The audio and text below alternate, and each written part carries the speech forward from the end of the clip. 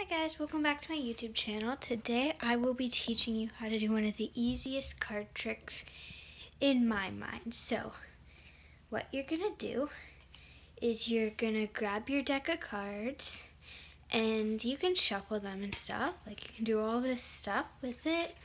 Um, the easiest way is to do the riffle, um, if you know how to do that. And um, then you start. So what you do is you grab your cards and just mix them around.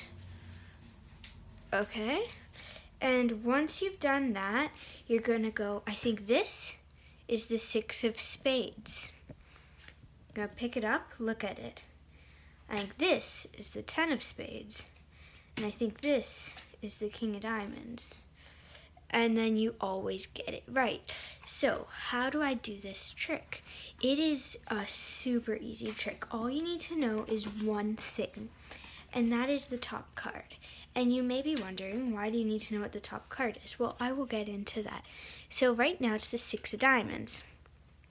When you do your shuffling, you stick your pinky in it, and then shuffle from there and make sure that the six always stays on top other, and then if you check, the six should still be on top. Same with the riffle, when you do it, make sure that the six always stays on top. You can do this with any card on top. And then, when you mix it up, keep the six on your thumb. And then at the end, have it being the card closest to you.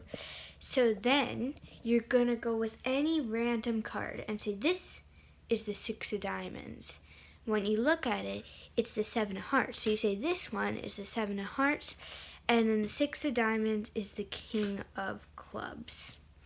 And that is super easy. You can do it with any deck of cards and keep watching.